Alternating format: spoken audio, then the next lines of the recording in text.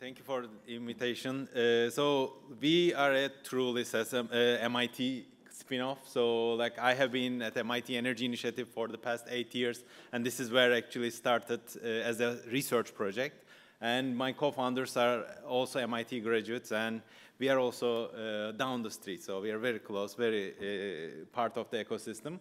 So as Ariadne mentioned, so this is an industrial decarbonization platform, software platform, and we are very excited to be here with you. Uh, so let, us start about what's the problem. So project planning, whether it's new asset deployment or change of uh, assets, technology, so on and so forth, is a hard topic. It takes time, you need different groups of people, you need stakeholders, uh, make scenario analysis, so on and so forth. And when this is in the context of decarbonization, it, it is harder. And why? Because of uncertainty. We have new technologies, so the, uh, like the previous five talks presented new technologies, right? So like which one to believe, which one to use in your processes, so on and so forth. And you really need to do a lot of analysis to really reflect on the uh, benefits and disadvantages of each one of these in your assets to be able to make informed and better decisions. And this is basically where Sesame plays a huge role. So we created a software platform where you can really streamline assessing different technology options, supply chain options for your decarbonization journey, including renewable integration, use of different technologies, so on and so forth. How do we do it? So we created a platform that brings together all your uh, decarbonization-related uh, modeling needs into one single platform.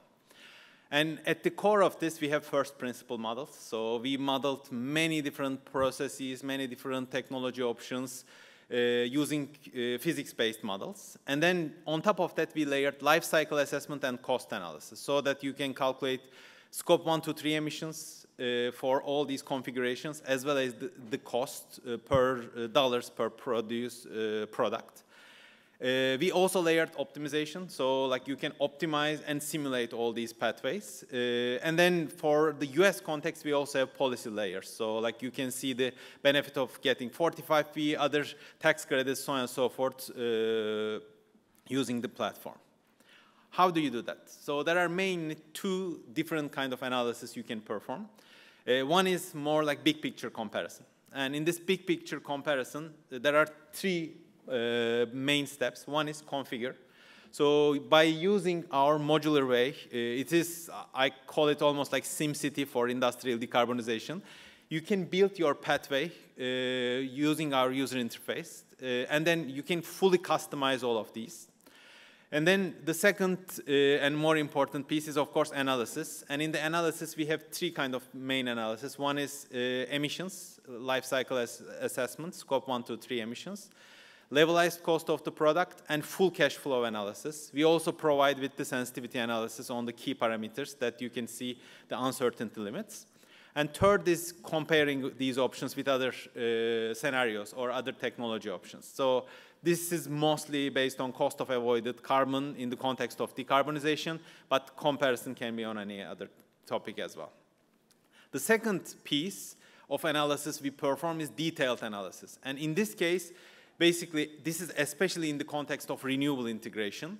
Uh, we have global coverage at zip code level weather data, and you can pick any location in the world, and you can optimize your renewable project, green hydrogen project, so on and so forth, on the basis of cost. Uh, and also, like during the uh, break, please stop by, I will show you, we can really do that. Uh, and uh, so in this, you will get the configuration, sizing of equipment, so on and so forth, and also the full cash uh, flow analysis. So, so far, uh, like we have been having a lot of good traction from the uh, both uh, industrial customers as well as the government agencies. Uh, so the ask for today is basically like if you are an energy company, utility company, like the data center operator or company, please stop by. Uh, so you can definitely uh, join our early adopters program, but also there are uh, opportunities to wor work uh, with us uh, and make your life easier. Uh, so basically, in the final 30 seconds, so if you have a chance today, please stop by. I'm happy to show you the demo of our product on a topic that you are interested in, mostly in the energy space. If not, this is my contact. Please uh, reach out to me and we can book a time to do a demo, a customized demo with you and your team, and we can take it from there. Thank you very much.